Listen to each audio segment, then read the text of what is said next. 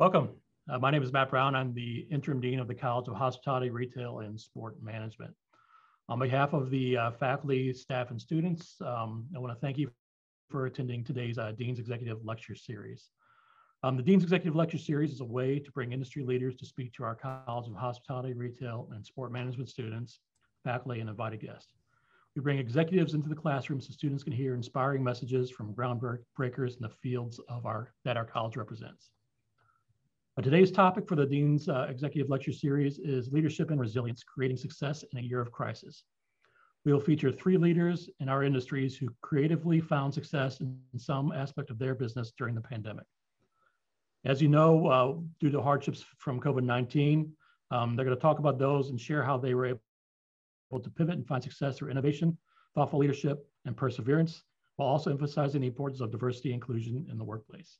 So now it gives me great pleasure to introduce our moder moderator of the panel, uh, Professor Sporty Geralds, who serves as our Assistant Dean for Diversity and Inclusion. Sporty, thank you. Well, thank you, Dean Brown. Uh, it's awesome to be here today. Today is just fantastic uh, Carolina Day. I, I do want to, uh, I learned a long time ago when I was managing uh, Coliseums that uh, I got to take a lot of credit, but a lot of things happened behind the scenes. I do want to uh, just thank uh, Colin Crick, Tina Weaver, Kathy Smiling, uh, Katie Daly, Bryony Wardell and her team, uh, Aaron Lucas. Those are, uh, are people who have been teaching SPT, I mean, HR SM 301. and so uh, thanks to everybody for being here today, along with our alumni and uh, our industry partners, as well as our students. So I want to get right into it. Um, got some a couple of old friends, two old friends, and, and one new friend for sure. Uh, but I want to start off today with uh, with Cindy. And Cindy, can you tell us uh, a little bit about your journey from USC? You're one of our alumni.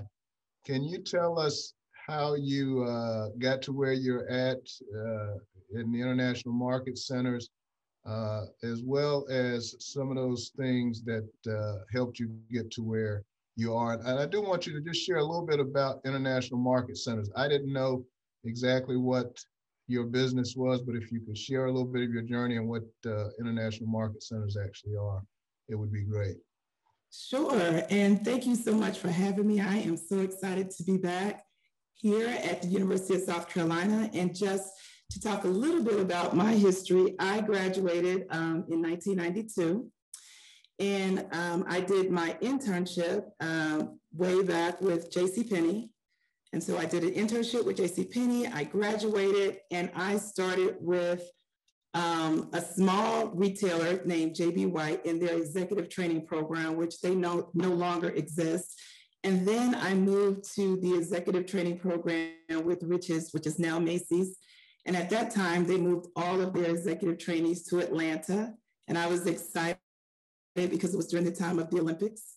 And um, I did my training in uh, the stores. I moved up into the buying office. And then I moved to Charlotte, North Carolina. And I then became um, working in the buying office with Belk um, in their Charlotte division. And I did that for a couple of years. And then I moved back to Atlanta and then uh, started working for AmericasMart at the time in marketing and moved up from marketing into leasing. And then in 2018, AmericasMart was uh, merged with International Market Centers. And so today I am Vice President of Leasing and my job is to, um, to sell space for our shows. So to tell you a little bit about International Market Centers, quite simply, our job is to bring buyers and sellers together in a wholesale marketplace. And so we do that. Uh, we have three um, areas. We are in High Point, we're in Atlanta, and then we are in um, Las Vegas. We have over 20 million square feet. Um, and over that 20 million square feet, we also do over 20 shows per year. And specifically in Atlanta, we have over 7 million square feet and showroom space along with our trade show, um, part of our division where it's just people will come in with booths and pipe and drape. But I'm um, specifically responsible for Atlanta and our gift trade shows, and I do permanent leasing. So I do leasing um, for three, typically three to five years of leasing. And then we have about four shows a year and then two additional op optional shows in that home, industry, and gifts. Awesome. Thank you so much. Um, Al, I want to turn to you. Al, Al Hutchinson is an old friend. We worked together in Charlotte many, many years ago, and, and he knows I'm fond of him because I'm probably going to take some heat for allowing a University of Alabama uh, grad uh, into our, our session today. But Al, uh, if you would, please share with uh, our students, particularly, I'm not sure all of them even understand what um, visit Baltimore would do, but I do think, for instance, we have some sport management majors who might not realize the possibilities of uh, working in a, a, an organization like yours. Uh, I know all of the all of you guys target sports. Uh, Baltimore has taken the uh, CIAA tournament from the city of Charlotte. So if you could just share real quickly a little bit about your journey and then what Visit Baltimore is actually all about. Excellent. And again, thank you, Sporty, for inviting me to the conversation. Thank you, Dean Brown. And look, I know this is Gamecock Nation today, so you guys need to be very gentle with me. I'm in a depressed state today since we took that beating last night. So go easy on me today, please. So thank thank you for that. I know you'll take it easy on me. But with that, but with that said, um, I've been in this uh, business now for 29 years, believe it or not. Um, and I'm, I'm considered a destination marketeer. And I got introduced to this business in a blind newspaper ad back in 1992 in my hometown. Knew nothing about destination marketing. Didn't know they'd pay you to sell a city and give you money to travel around the country on, on a city's dime and stay in five-star hotels and, and eat in five-star restaurants and sell a city. That, that's a cool gig. So I, I sort of fell in love with this business uh, back in 92, wanted to grow in the business. And so I've been fortunate during my career of 29 years to sell for six different destinations. My hometown, as I mentioned to you, Richmond is where I sort of cut my teeth, got started as a salesperson selling the city, then moved down to Charlotte, North Carolina, where I met Sporty working at the convention center.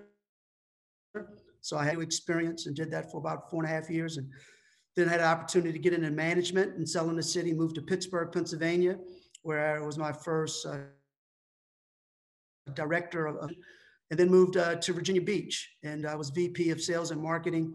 Did that for 13 years in Virginia Beach, really learned the game, had some successes, wanted to become a president and CEO, didn't know when or how, but uh, end up uh, moving down to Mobile, Alabama,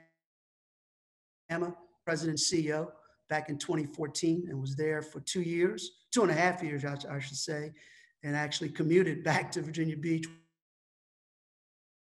once uh, to my family. Uh, wanted to get back to the East Coast. And so in 2016, I had the opportunity to uh, interview for the president CEO position in Baltimore. And so I've been here now for almost five years. But just real quickly, uh, my work is really um, creating the great experience for visitors, for conventioneers, and for sports marketing travelers. When they come to any community, it's about 700 of these organizations around the country, and we're the good housing organization. People to feel good about the city, go to our cool restaurants, enjoy the culture, whether it's a museum, a history visit, um, and also um, use our convention facilities, hotels, convention centers, and, and other attractions. So we're about people coming to our communities and creating a great experience. So when they come to Baltimore, number one, you need to spend a lot of money. That's the first thing. And then the second thing is you go home and we don't have to educate your kids, give you health insurance, pay your retirement. You go and uh, another visitor will come in and leaves the same amount of money, hopefully. So it's really a, a good experience for a community to invite visitors from all across, across the country but they have to come into the community and really have a great experience or they won't come back. And we want you to go back to Columbia, or wherever you live, tell all your family and friends that you have to come to Baltimore. So that's really my job. Uh, I enjoy it totally, and it's a great folks who are looking for that kind of opportunity. Thanks, Al. Uh, Peyton, uh, one of my former students. Peyton, can you uh, share uh, with everyone your journey. You worked at one of the iconic venues in our country right out of uh, right out of school. So quickly share with uh, with us how you got to be where you're at in Macon today. Certainly. So I uh, got my start at Red Rocks Amphitheater in Colorado. Um, and that was actually an internship that I went for. Um, was able to come on as their interim um, assistant director of market communications, and that spawned an opportunity to go into sponsorship marketing actually. And I did sponsorship marketing for Red Rocks um, and a couple other Denver properties that the city manages. Um, and then shortly after is when I got my start in Spectra. Um, so I packed my car and drove from Denver, Colorado to Orlando, Florida. And then I went from Orlando, Florida to Costa Mesa, California. And then I packed my car again and I moved from Costa Mesa, California to Macon, Georgia. So I uh, I don't make short moves. I make I make cross country moves. Um, but I am now the director of marketing at Macon Centreplex. Um, and so we are just uh, about 75 miles south of where Cindy's at in Atlanta. Um, and we have to manage the Macon Coliseum and the Macon City Auditorium.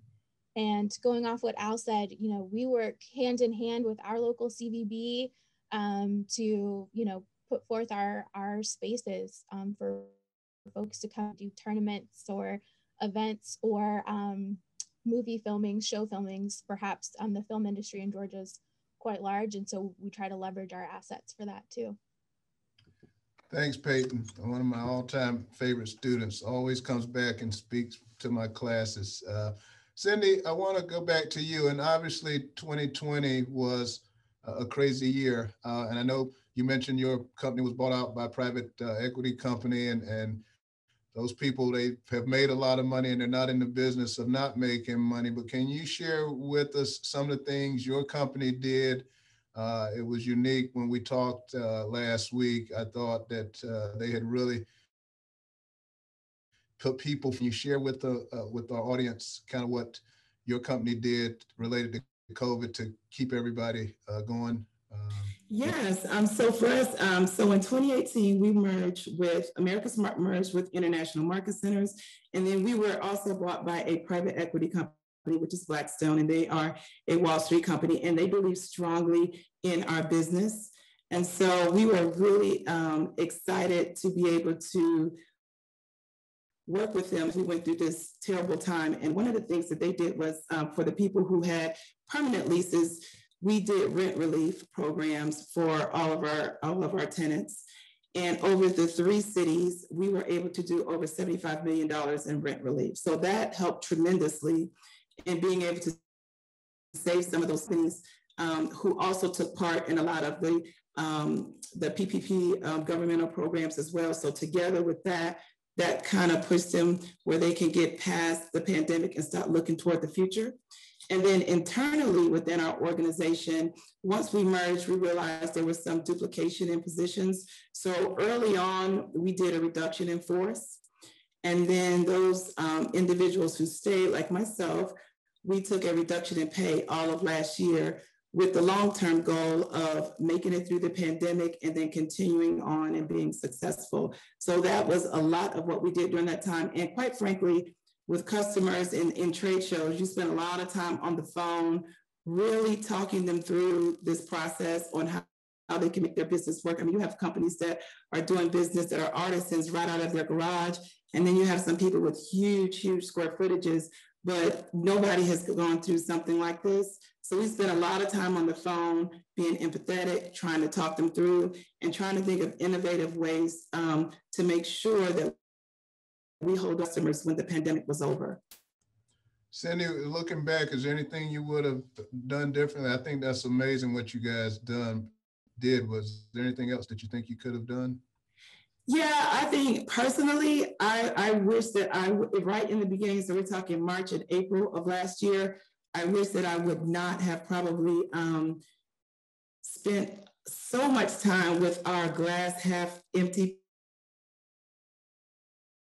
people. It's customer, the world was going to come to an end during the good days. And so what happens now is really, is really getting bad. So what we have to do is really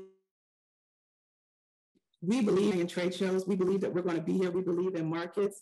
And so instead of going into that dark place with them, we really had to kind of pull ourselves up by the bootstraps and talk about life beyond the pandemic because we have every intention of being here. We put a lot of money into our markets in terms of marketing. And one of the other things we did in looking past um, the pandemic is that we started our digital platform, which we always had in our mind to do a digital platform, but we did it a little bit earlier than we had anticipated. So those customers who did not feel comfortable coming to a physical marketplace, they are still able to do it virtually. And that was huge for us. Great, great. Thank you so much. Peyton, I'm gonna I'm shift back down the road a little bit from uh, from Atlanta down to you. And and I, Peyton and I, we're we're buddies, and I tease her a lot, but uh, share with us uh, you were unique in making that that you really kind of kept the doors open and share with uh, our audience you know the, the big show and how all that came together uh, to keep making uh, on the map and, and, and going.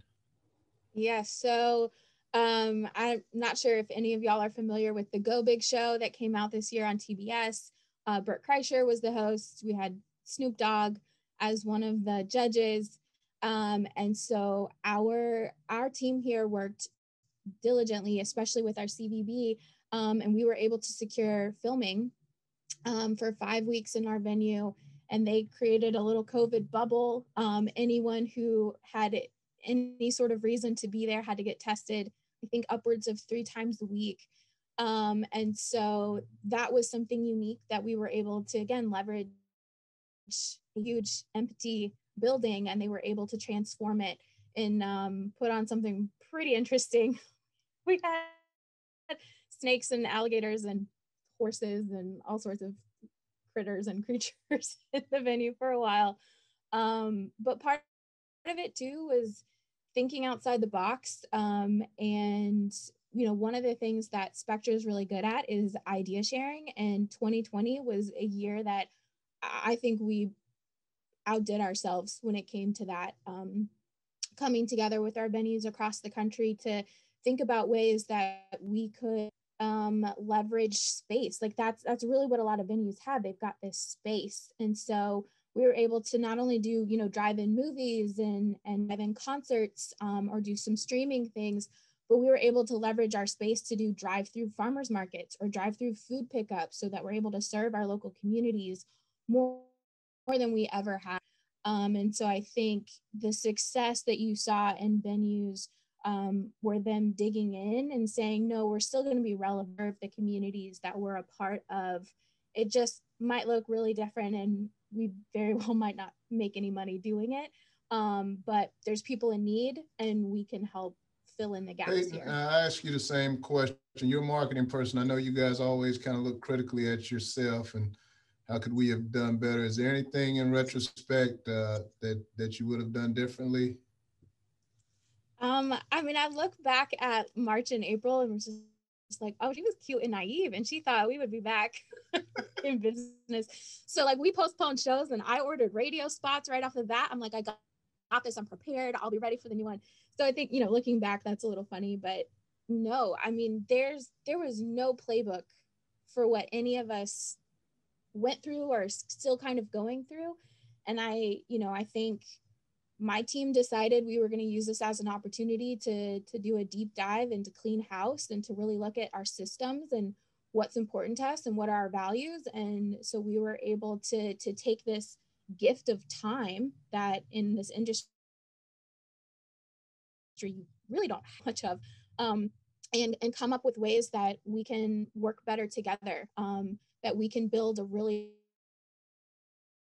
good for our full-time and part-time um, and so i you know I, I really think that this situation was a blessing in a lot of ways um, and and our team was able to really rally with other people in our company like i don't think i'm would have been as close as i am with folks that are in wyoming or arizona or virginia as i am because we we came together and said, all right, like let's get some collective brain power going and figure out how we can succeed now. Al, I want to shift to you, and I know you're you're the CEO, uh, and so you probably sit even at a little bit different place than, than Peyton and, and Cindy do, even though they're, they're managing their respective divisions. I, I know when you're in that seat, people are looking at you for all the answers. And I know none of us really had those answers. Can you share your experience as the uh, CEO and, and what you did from your perspective to keep, you know, Baltimore relevant and, and kind of pivot in this uh, pandemic? Yeah, Sporty, uh, that that's a great, great question, and um, something that since March of 2020, I've been dealing with on a daily basis. And I think all of us as leaders and those who are on the call, who are aspiring to be leaders, um, you know, I think we're nimble. Uh, words like being patient uh, were really all a part of what happened with COVID. And as a as a senior leader in an organization, I I think it was extremely important to over communicate with the team. Um, you know, I we experienced, I had to let 22 full-time people go. I went from an organization of 65 people down to 43. Some of those individuals have been with our organization 20 plus years. Their mothers, fathers, church mortgages. That's a tough conversation to have. And so I think as a leader, one of the things I would encourage everyone to always bring is empathy, bring compassion, and bring thoughtfulness to the table. And as a senior leader, I tell my team all the time A, I don't have all the answers. B, I'm not a robot, I'm a human. So I feel pain, I hurt just like you do. So let's try to do this together. And so we became tighter as an organization. We would have all staff meetings once a week at the beginning of COVID because I wanted to let my team know I felt their pain. I wanted to have a conversation with them. I talked to my senior team twice a week because any organization, you're only as good as your senior leaders. If your senior leaders don't go, other folks will tend to look at them and question is the organization really serious about my feelings? So I, I think this this time period has really thought, taught me to be much more uh, grateful but also bring empathy to the conversation. And um, you know, it's it's been helpful. This is a very, very, this has been a, the toughest time period I've ever had as a leader in, in, in my career, because I think Peyton mentioned it, there's no playbook. And anyone who tells you they knew what was going to happen the middle of March and how to deal with it, they're not telling you the truth. We were building a plane and flying it at the same time. And so this has been a very challenging time period, but I think as leaders, if you embrace the situation, be honest with your teammates, be authentic with your teammates, and they can feel your passion and your concern, you would be better on the other side of this as a leader. And that's the way I try to approach it. Great, great answer, Al. I want to stick with you guys, with, with you for a moment. Uh, give me a real quick answer to this one. Uh, what did you, out of this, is there what one thing did you learn about yourself or one strategy you used to hopefully have started to come out on the other side of this thing? I think the one thing I learned um, is I have to be more patient. Um, so I think COVID has taught me to slow down and be patient. I think the other lesson strategically moving forward, getting all thought leaders in your organization together so, because everyone has a different voice and a different perspective. And I think not just a senior leader, but everywhere in your organization, listen to people. And I think, Sporty, that, that's been a very good lesson for me to listen to everybody within your organization. Great. Peyton, what about you? What, what have you, what have you learned throughout this experience? So one strategy you used to get through it? Um, I I agree with Al. I've listening has been huge. Um, and and making sure that your team all are present and all have space and a place to to say what they're thinking. Um, everyone's got a different perspective from which they're coming at. Um, and so all of those perspectives are, are valid and necessary to take into consideration. And so, um, yeah, I think slowing down and, and, and listening and you know, this year, I think everyone was able to sort of reestablish some boundaries and priorities. And so I'm hopeful of being able to carry that into when things get back into full swing, um, that we don't lose all of those new, new habits and systems that, that that we've established. Cindy, what about you? I echo everything that they're saying. And also um, for us, I think it was really nice to really be able to do a deep dive into our business. And I think that business was going so well. I mean, Atlanta is a convention city. And so we, we're doing markets, we're doing very well with conventions coming to Atlanta, and we got a little bit complacent. And so that, that complacency can kill you. And so with something like this happening, you really have to do a deep dive into your business. You really have to do a deep dive and figure out, you know, if things are not, are not normal, how can we get better? And so we spent a lot of time, like Al said, um, we had weekly meetings every Monday. We had weekly meetings from three to five talking about business, where we are, customers we've talked to, ideas that we have. So this is probably the most time that we've talked to everybody in the company from senior level executives to you know people who are dealing with our customers on a day-to-day basis from registration to people on our docks that are bringing in the product in so we talk to everybody and got it for we can do better as a company so we can get past to the next level Cindy, I want to I want to stay with you, um, and you shared with Dean for Diversity and Inclusion in our college is something that's that is important to me. Uh, but I want you to share with. I know you took have taken some leadership in your company with the committees that you're you're on and chairing and those kinds of things. Can you share? how uh, International Market Centers has really kind of made a recommitment uh, to being a diverse uh, organization, some of the things you're doing in that that space? Yes. Um, so last year, it was about June, we developed the Diversity and Inclusion Network. And this is really for us to be able to really take a real good look at where we are as a company and also um, what are we doing within our communities to make sure that they have a diverse and inclusive organization.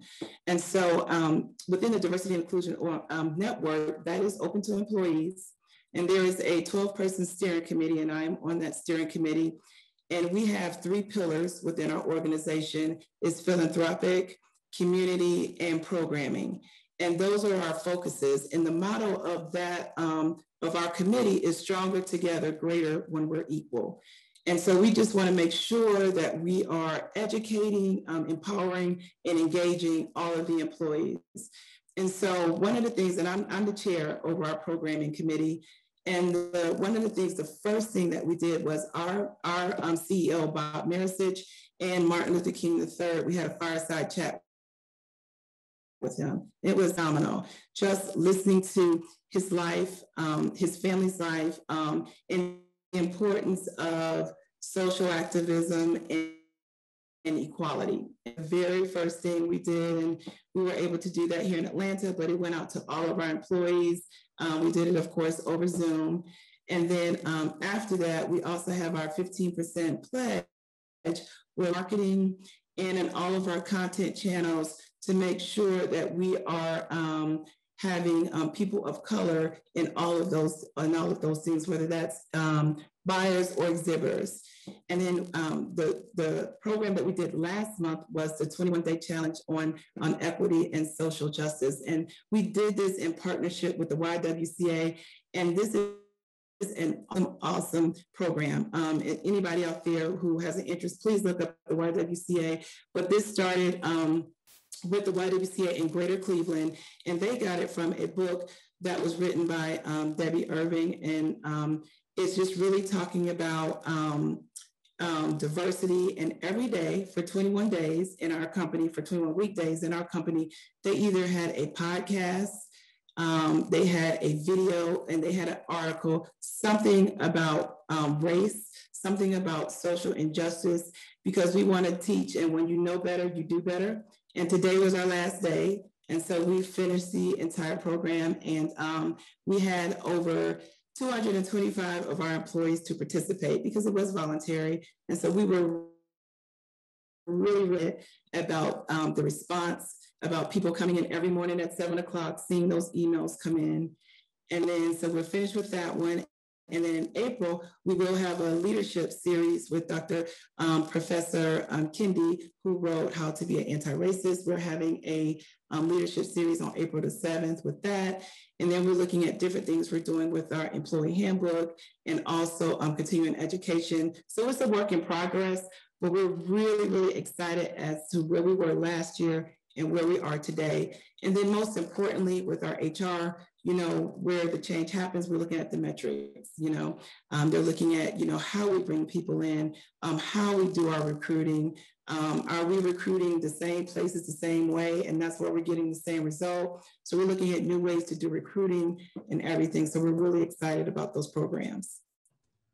That's, uh, that's awesome. Uh, Peyton, uh, I don't know if our audience can see your shirt, but I know it's purposeful that you have that shirt on. Uh, can you share with you? So proud of you. Peyton took a, a leadership role with her company and opened up some discussions. Can you, can you share, Peyton, you know, what your vision was and how you kind of started that program and, and got people on board to join you? So our timeline sounds really similar to, to Cindy's. Um, and back in June, there was the black box on social media uh, initiative that happened. And it felt like the first time I sort of being called out and called up into this. And so, you know, having a, a personal heart for racial reconciliation and for social justice, I felt like I could suddenly now really bring it into the, the workplace. Um, and so we started off by having really hard conversations with our staff that we've never had before um, uh, you know, Macon is 54% Black and our part-time staff is predominantly Black. And, you know, all these things are happening with the murder of George Floyd and Breonna Taylor and, and, uh, we weren't saying anything and our staff was looking to us to say like we work for you what do you like where are you and so, um, you know, out of these really hard conversations, um, and some and some small steps, and I, and I um, emphasize enough to not underestimate the power of a small gesture because it can just be this catalyst for a, a much bigger movement. And so, out of that, we formed our racial reconciliation and inclusion committee, which we sat down and we had focus group conversations with our part-time staff and, and listened and asked them, how are we doing as a management team? Are you feeling supported? Are you feeling seen and valued? And in light of everything that's going on in our community, what's touching us and impacting us, like, are you, do you feel like this is a safe space for you as well? Um, and so we were able to then come alongside what ended up happening from Spectra Corporate, where they designated our chief diversity officer, um, they established regional champions um, within our company. So I serve for, our, even though I'm in the I'm in the dirty South and I love it, I serve on the Midwest committee um, as a regional champion. And then we've got our local groups that are are starting to get started. And so fortunately in Macon, you know, we were able to kind of spearhead this um, with the initiatives that we were doing and able to align with corporate's three pillars of workforce, workplace, marketplace, um, which essentially is recruitment, retention, and then the development of the staff that you have. Um, and so, just like Cindy was saying, really taking a deep dive into our, our job recruiting techniques. Um, so, a few of our folks are, are working on establishing really solid relationships with HBCUs in all of our areas to make sure that we are, are in fact pulling from a wider, diverse into the same part um, for jobs to make sure our job language is inclusive. Um, and our company was able to form uh, prior, gosh, about a year and a half ago now, we started our women's network um, and we have a book club. In that book club, we've elected to, to read Austin Channing Brown and to read Hood Feminism and to make sure that we're, um, as women, supporting our BIPOC community. Um, and then we also started our Pride ERG, which is um, making sure that we're aligning and, and, and creating safe spaces for the LGBTQ community um, in our company. And so um, it's it was that cleaning house. It was that time that 2020 gave us to really dig in and say, mm, we don't look good here. and so let's fix this. Like, let's make sure our actions are aligning with our values. Um, and I think we're off to, to a good start. Um, to be honest, 2020 is a little late to come to the party, but you know, better late than never. Great, great. Thank you, Peyton. Uh, Al, I want to uh, go to go to you again as the CEO. I, I know you have the ability, and I know we, when we talked about it, you really put some thought into how you could leverage uh, contracts and things like that to make people more aware of how they could could make things better for people. Can you share some of those strategies you used with Visit Baltimore? Yes, sir. And so again, I, I, definitely salute both Peyton and Cindy. You, you, guys are doing some great and should be commended for that. Um, we approached it very similar.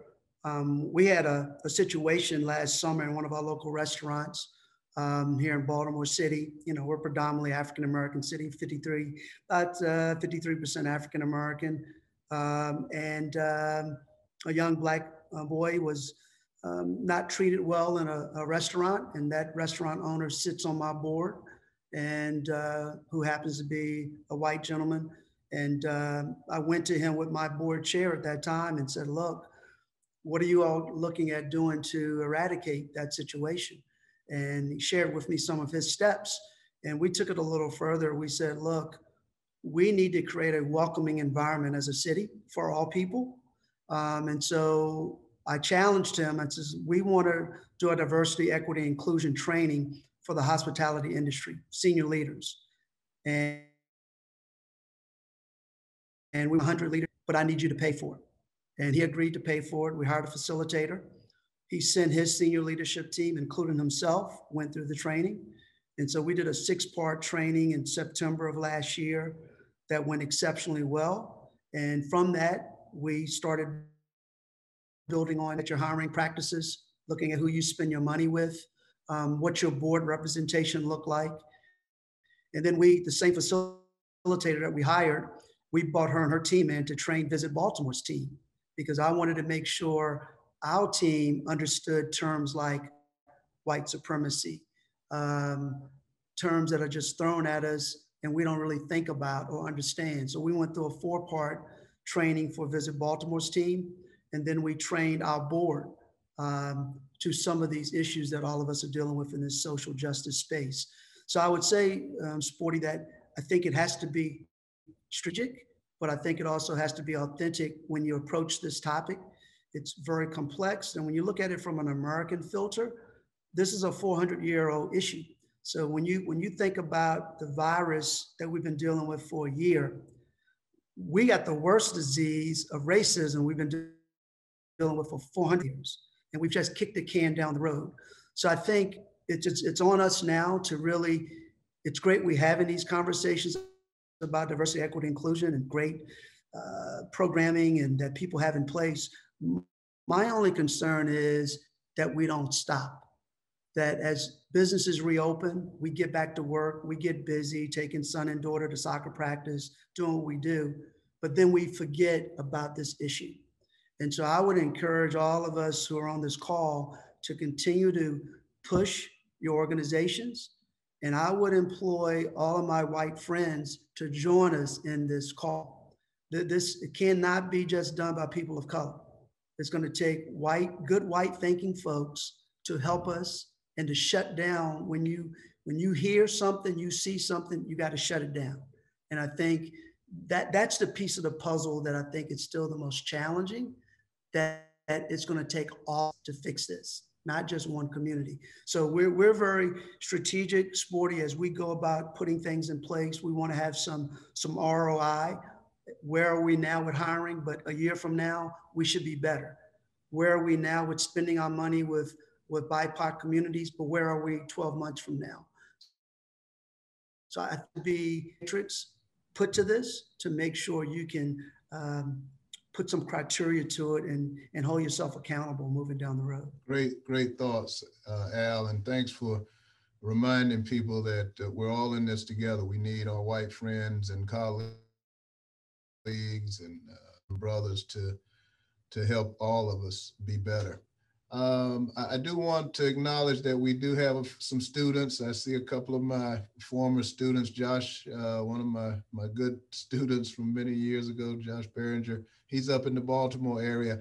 And I do think uh, we talked about it earlier, students, if you have some questions, uh, our panel have agreed that we will get those questions uh, to them. If we don't get to get those questions answered today, uh, we'll get them uh, to them through email and they'll uh, send you a, a response to your question. Uh, but kind of one of the questions we had and one that I had on my list um, that, talks about this whole idea of professional development and, and kind of the basis for this uh, call that we're on today. And so Cindy, can you talk a little bit about uh, the role of mentors in your uh, development, how you've gotten to, if you've had any. I know it's maybe been lonely sometimes as the only African American female in the space, but can you talk about people who have helped you?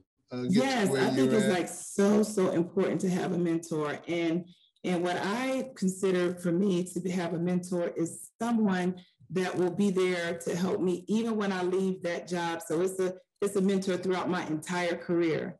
So when I situations um, in my career, I can still go back to that person. And I have a couple of different mentors in, in different industries. Um, one man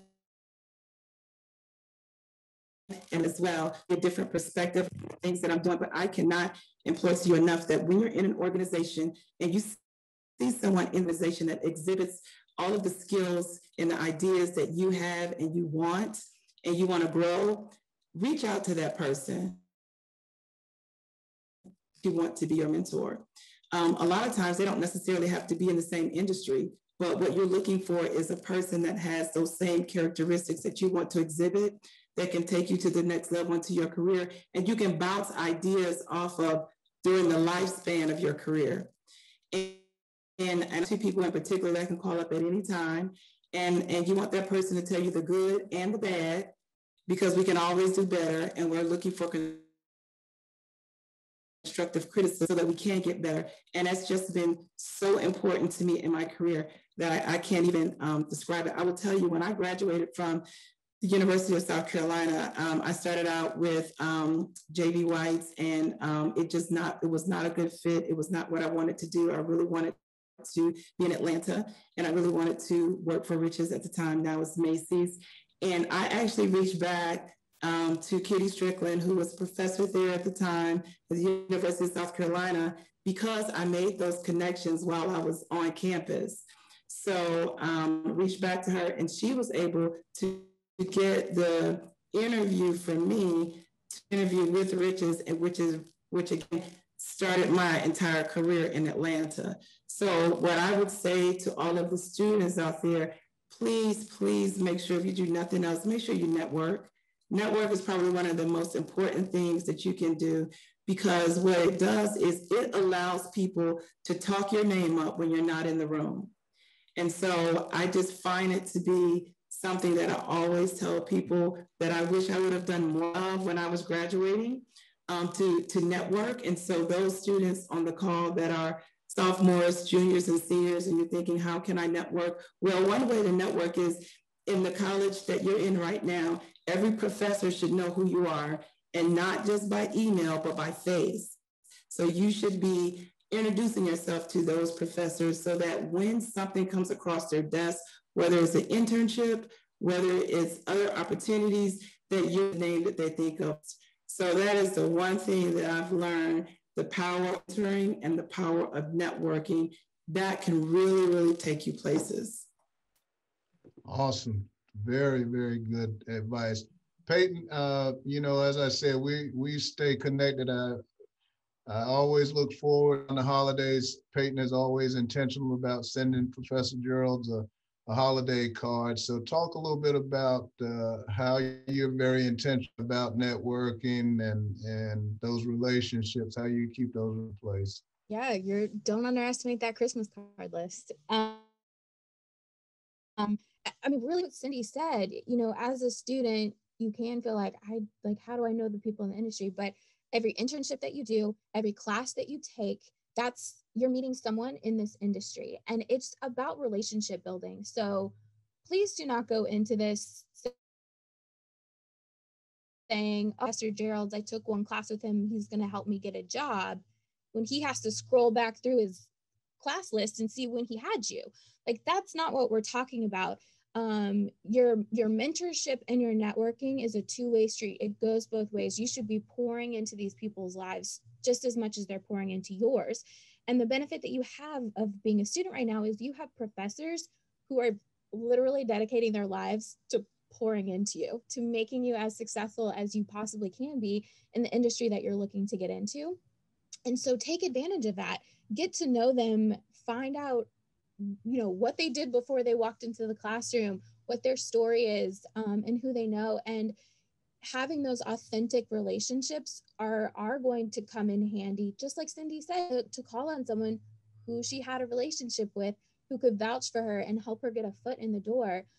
Because so much of our industry is your name being said when you're not in the room and someone vouching for you um, with a with a colleague of theirs. Um, so uh, yeah, just again, pour pour into these um, these folks that you're meeting right now. Peyton, great answer. And I, I can share with you. Last week, I got a an email from a student who took a class uh, with me in 2012 with a contact with someone uh, in Charlotte. And I'm like, I have no idea who this person is. So stay connected, be a friend before you need a friend. Al, I want to finish up with you. Obviously, you're in the, uh, a city. And, you know, I felt like uh, me just giving you one phone call, one text saying, hey, will you participate on this panel? You said, sure, I'm, I'm all in. Uh, but it it does speak a lot about relationships. Can you finish us up with with who's been important to you throughout your career and the value of those relationships, particularly as it relates to you being able to be effective as a CEO of a of a community like Baltimore? Well, Sporty, I mean, you're one of you're one of those guys who I was able to develop a relationship with, and relationships are, um, and it's uh, you know pick up the phone, you email you text someone, they should be able to get right back to you. That that shows how connected you are to folks. And I think gotten away though from this face-to-face contact, right? We're so reliant on technology that I think uh, you know building those relationships will be so critical as you move forward. And really, what it gets to from why relationships are so important, it's really about your personal brand you know, I, I use an example. What what is your Nike swoosh? Or I'm in Baltimore, so I better say, what is your Under Armour UA? What, in other words, what's your it factor? What makes you so special that I won't forget you, that I can remember you regardless? And I think that comes with at the beginning of developing these authentic relationships, being curious, asking very intentional questions of folks that you meet, your professor, um, another colleague, another person who looks different from you, talks different than you. I think we have to enter relationships from a place of curiosity, but being real, right? Authentic curiosity. And as you do that, the dividends on the other side, the output, you don't even know what that looks like. But if you put the time in on the front end, with genuinely wanting to get to know someone and concerned about them and and their thinking may be different but understanding their perspective relationships has been the key to my career throughout. Everywhere i've gone someone has helped al to get that next position. Encourage all the folks on this call to take time to build relationships. Sometimes it, it might be challenging and, and, and, and takes a while but the, the the benefits of it are just unbelievable. Getting to know a person and they and them getting to know you, I think is invaluable throughout your career. I think we we're about at the end of our time here, uh, but uh, we got one one final question that's a quickie, and and hopefully you've thought about this a little bit. Uh, but if you could have a billboard uh, anywhere in the world uh, what would you have on that billboard? What advice would you give people on your billboard? That's a great question. Um, if I could have a billboard, um, I am enough, very simply. And the reason why I choose that is because so many times we will get into a room and because I'm in sales, we start comparing. And in your head, you start you start comparing to this person went to this school, they did this, they did that. But what we have to remember is that all of the things that we've done to get to where we are. Now, I'm not saying being cocky. I'm not saying that there's not still room to learn. But what I am saying is I am enough and I'm going to a top level school, which is the University of South Carolina. I am at a premier college um, in the college that you're in studying um, retailing, studying sports management, you're in the top of the game. So you tools now, all, all you have to do is tools to get to the next level. So again, I am enough. I just have to put it into practice. What an awesome answer. We're going to send and use that as our, our marketing uh, campaign. Great, great answer. Uh, speaking of marketing, Peyton, can you share what you, that big show? I know you got that big show, but what would that big uh, billboard uh, say from Peyton Jeter? My sassy answer is keep your hands to yourself because a lot of people need to hear that. But my my uh, motivating answer is you can do hard things. Um, I think you just have to remind you can do hard things. Well, that that's awesome. And uh, uh, the game a long time, my friend. Uh, you're a parent, you're a professional, you got probably a lot of wisdom stored up. What would your billboard say? Well, I'll keep it real simple. I would put love, respect, and peace. All right. Well, folks, at the time here, I just, it's been so insightful, great commentary, great thoughts. Uh, uh, we always miss, but that's the sign of a great uh, event is people want more at the end. We, we want them to want more. So uh, on behalf of our college and, and Dean Brown and our Cindy, thank you so much, uh, Peyton. You know how much I think of you and Al. Uh, just awesome to be reconnected with you, my uh, with that, I think uh, we're finished for today. Good luck. You guys stay safe out there uh, for our students. Continue to work hard as we finish up the semester.